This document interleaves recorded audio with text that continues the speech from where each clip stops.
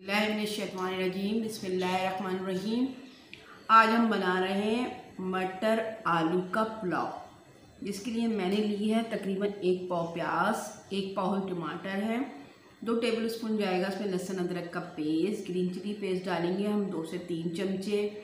Chicken powder डालेंगे, आप अगर आपको अच्छा नहीं लगता है तो आप इसे हटा भी सकते हैं। मैं डालूँगी इसमें आलू बुखारे, साबुत हरी मिर्च भी जाएगी, पुदीना जाएगा। और ये हम जब भगार बनाएँगे तो इसमें साबुत गरम मसाला डालेंगे। तेज़पत्ता है, बादियान है, दालचीनी है, बड़ी इलायची है लौंग इलायची, इसका भगार बनाएँगे। और जब चावल हम पकने पे आ जाएँगे तो हम नींबू का जूस डालेंगे। तेल हमारा गर्म हो गया है। अब हम इसमें प्याज डाल रहे हैं। और जो साबुत गरम मसाला हमने लिया था, वो हम सारा का सारा डाल देंगे प्याज के साथ। ब्राउन होने के लिए। उसमें देखें, ये बड़ी इलायची में तीन डाल रही हूँ।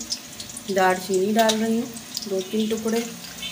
ये दो से तीन बादियान के फूल हैं, ये मैं डाल रही हूँ, ठीक है। तेज़ पत्ते हैं ये ये मैं दो से तीन डाल रही हूँ। और सफ़ेद इलायचियाँ हैं, ये ये भी मैं तीन डाल रही हूँ। और ये आठ से दस लौंगे हैं, ये डाल रहे हूँ। और ये काली मिर्चें हैं। ये वन टीस्पून के करीब हैं। और ये वन टेबल स्पून के करीब ज़ीरा, साबुत ज़ीरा जाएगा। अब ये प्याज हमारी ब्राउन हो जाएगी तो हम इसमें लहसुन अदरक का पेस्ट डालेंगे और आलू और मटर को गलने के लिए छोड़ देंगे। और जुबिल्लाशदवानी बिसमीम ये देखें, प्याज हमारी ब्राउन हो गई है। अब हम डाल रहे हैं लहसुन अदरक का पेस्ट दो टेबल स्पून भर के। उसके बाद हम डाल लहसुन अदरक डालने के बाद हम अब डाल रहे हैं टमाटर और उसके साथ ही हम डाल देंगे जो हमने ग्रीन चिली पेस्ट बनाया था, जो हरी मिर्च का पेस्ट है, वो हम डाल देंगे तकरीबन तीन टेबल स्पून भर के। उसके बाद हम डाल देंगे इसमें आलू जो हमने काट के रखे हैं और फिर हम डाल देंगे मटर।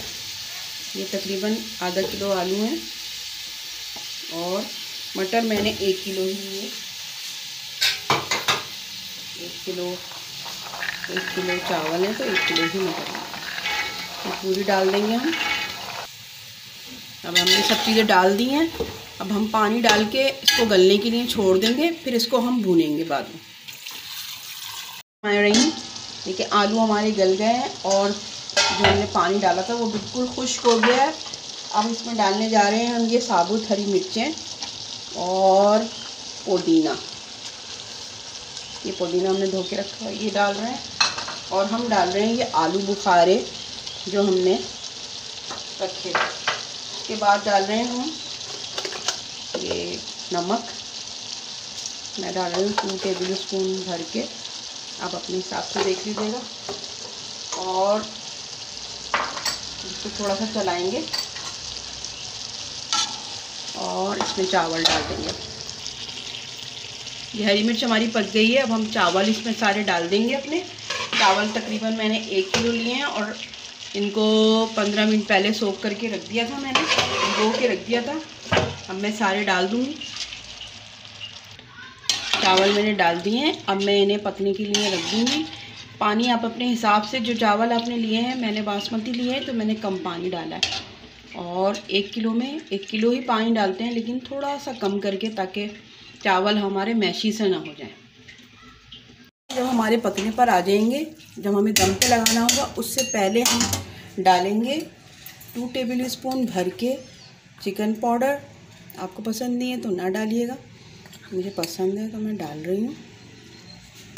और टू टेबल स्पून ही भर के मैं डालूँगी रूह केवड़ा।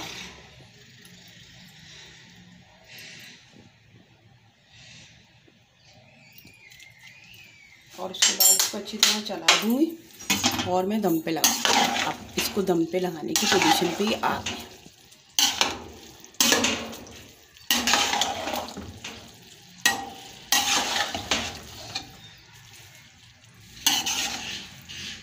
पुलाव हमारा तैयार है।